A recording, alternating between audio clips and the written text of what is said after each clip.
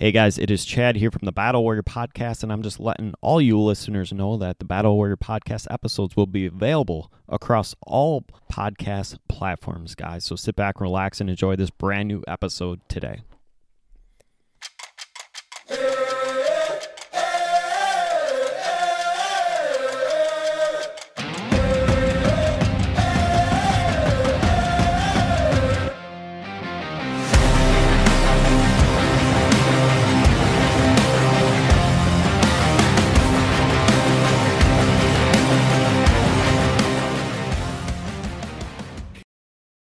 Hey guys, welcome to Battle Warrior Podcast. This is Chad on one end. We have a, as what Mike would say, we have Scotty Fichter on the other end, everyone. that is what Mike would say.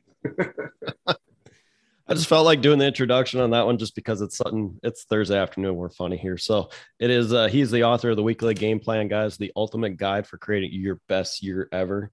Um, I was gonna say the 52 step weekly guide, making you a better life, if I remember right.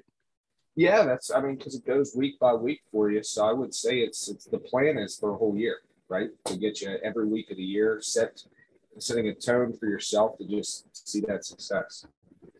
Yeah, and it's a the the best thing I was going to say with this one. It's such a quick flowing book, and uh, I had the opportunity to read this about three four weeks ago, um, down actually in Dallas with when we had a few uh, people. So I read it going down, read it going back up, and it it keeps you intrigued, keeps you hooked, and uh, the best thing about it is it flows so great. Even uh, airline traffic doesn't really bug you. You're so absorbed in the book here. So it was such a great, great written book. I appreciate that. Thanks. And that was the whole mindset behind it. I wanted to make sure that when you went on the journey with the book, it flowed for you. You know, like even if you if you look, I think it's uh, week seven. You know, that's whenever we talk about the actual rest and reflect part. We wait you know, kind of get you that anticipation of where we're going to go next. What's my next part of my journey? So that was kind of how we wanted to work the book out. So. Um, yeah, the day seven's usually the Sabbath day, and I, I didn't click to that one. I clicked to the other ones where it's like more the the Thanksgiving challenge, the next level mindset, um, more in the in depth where he started talking about you and the coach, um, go and see the coach, seeing the advisors, all those fun little stories right. are built into the book.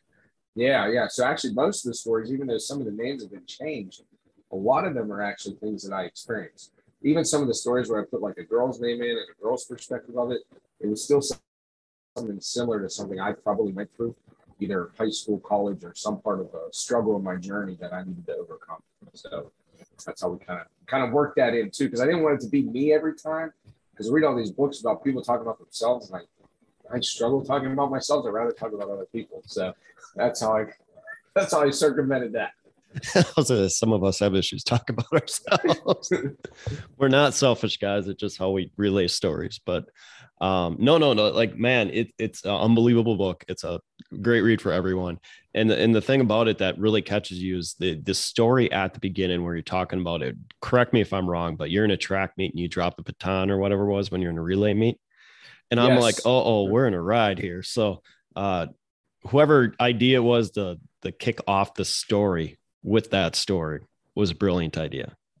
Well, when I was at a conference, this was back in uh, 2016 or 17, my wife went, went out in Sacramento. And I met a guy there who um, my wife actually met his wife at a previous conference. So I got to meet the husband there. And we all went out and we were talking. And through the conference, it was like, you got to let go of things from the past. And that story was one of the things from my past that I didn't realize how much it drug me down because sports was my life. Uh, everything I did was, you know, valued off of how well I did in sports. So with that being my last sporting event, it really just stayed there as like that that dark thing in your mind that kept pulling me back. Like you're gonna fail again. You're gonna fail again. You're gonna let people down. And it was until that point when I actually spoke to this gentleman with my wife at a at a dinner we went to it was at that point when I finally released it. And, and that's how long it took me. I mean, that was about 10 years of my life where it was, it wasn't at the forefront, but it was still there in the back. You know, it's that thing that you can't, you, you just pulls you down. You know, you don't know what it is, and then you figure it out. It's kind of like a blessing to to release it. Yeah, and and mine was a little bit so like some of you guys start to know, but a lot, a lot, of you guys don't know about my tournament fishing history in the back where I was on the road at like 17 years old and and had it prematurely ripped away from me. So I I know exactly what you mean when you feel like where you feel like you let it down. Uh, you felt like you let everyone down or even yourself down because all of a sudden it's like the spotlight just goes. Like you're so used to, and I don't want to say you're used to spotlight. You're just you're used to riding high, doing great, phenomenal, and just you're on a roll, and all of a sudden, like the floor is just taken away that feeling came back to me when you said that. I'm like, oh, the the stage, the lights, the everything. It just when you're used to it, you know, you know the time, the smell, and everything of it.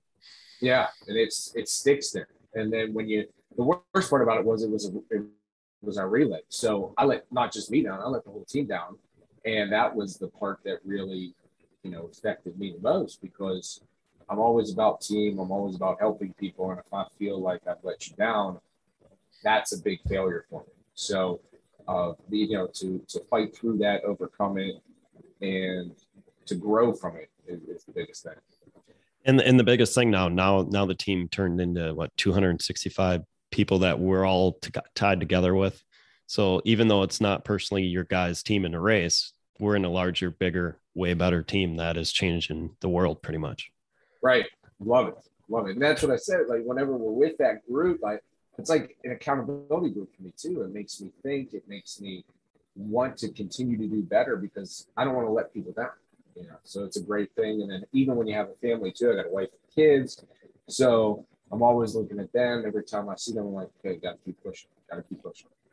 Yeah, and when it and I, I'm going to ask you when you graduated high school because I think you're a few years difference from me. I was 2004, so I was 03. 2003. Okay, yeah, yeah. So I mean, we're getting near i was gonna say almost 20 years out even i don't want to say that far out but it's it's starting to climb up that way we're getting in the late teens of that so um, tell everyone we're gonna keep this short here guys but tell everyone where we can uh, have all listeners go find your book and enjoy this number one bestseller that you have going right now yeah so you can check out what we got going on on facebook we have a group called no slack just hustle which is the mindset we are really branding around right now.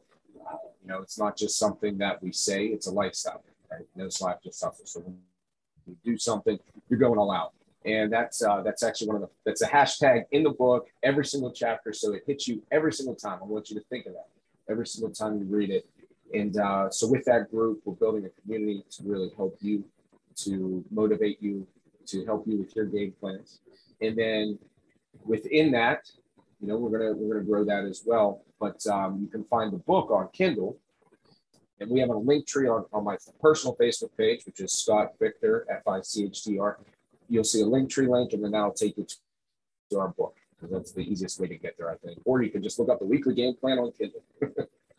awesome, man. Like I said, usually I want to chit chat for a while, but my voice is limited this week because I got under the weather here prior to recording here. So Thank you very much, man. We're going to keep it short and sweet. And uh, I will look forward to many more calls with you in the future. I appreciate you get that voice back. All right. Thank you, man. All right.